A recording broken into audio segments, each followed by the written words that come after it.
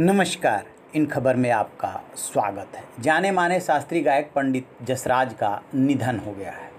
उन्होंने अमेरिका में आखिरी सांस ली। उम्र लगभग 90 साल का था और संगीत की दुनिया में 80 वर्षों से अधिक बिताए। उन्होंने कई पुरस्कार प्राप्त किए।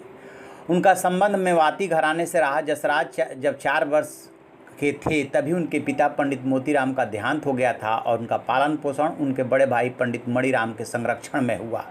शास्त्रीय और अर्थशास्त्रीय स्वरों के उनके प्रदर्शनों को एल्बम और फ़िल्म साउंड ट्रैक के रूप में बनाया गया है। जसराज ने भारत, कनाडा, अमेरिका में संगीत सिखाया। उनके कुछ शीर्ष नामी संगीतकार भी बने हैं। साल 2000 में भारत सरकार ने पंडित जसराज को पद्म विभूषण से सम्मानित किया था। उन्होंने न सिर्फ़ भारत में, बल्कि कई अन्य देशों में भी संगीत और शास्त्रीय संगीत सिखाने का काम किया था। उनका जन्म 28 जनवरी 1930 को हरियाणा के हिसार में हुआ था और उनके पिता पंडित मोतीराम भी मेवात घराने के एक संगीतज्ञ थे। इन खबर चैनल को सब्सक्राइब करें